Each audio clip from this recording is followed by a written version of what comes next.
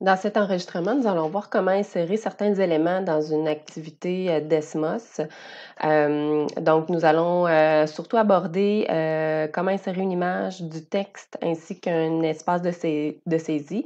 Voici justement un exemple dans une activité qui est existante à propos des Legos. Alors, c'est le premier écran que les élèves voient en débutant l'activité.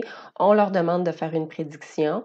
Il y a une image qui est visible pour un support visuel un peu de texte ici pour mettre l'élève en situation, mais aussi pour euh, poser une question, puis un espace de saisie où l'élève peut inscrire sa réponse. Donc, nous allons reproduire un peu euh, ce type de questions.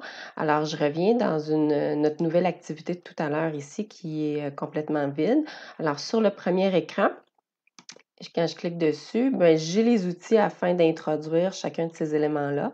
D'abord, ici, j'inscris la prédiction, euh, pas la prédiction, mais l'instruction à l'élève qui était fait une prédiction.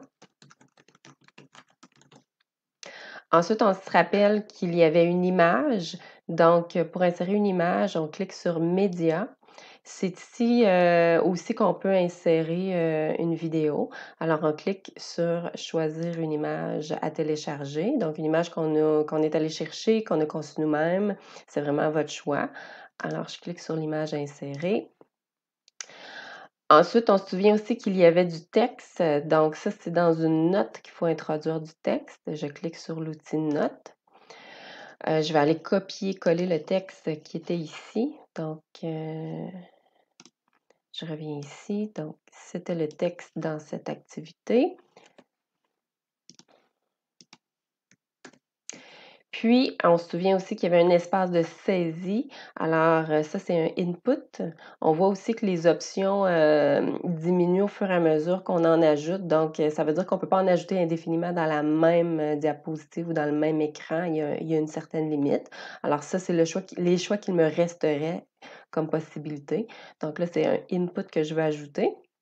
Alors, pour l'input, c'est euh, vraiment un espace de saisie pour récupérer la réponse de l'élève. Ça peut être seulement du texte, mais ça peut être aussi euh, des caractères plutôt mathématiques. Dans l'activité qui nous concerne, on a choisi euh, des caractères mathématiques. Alors, on vient cliquer ici.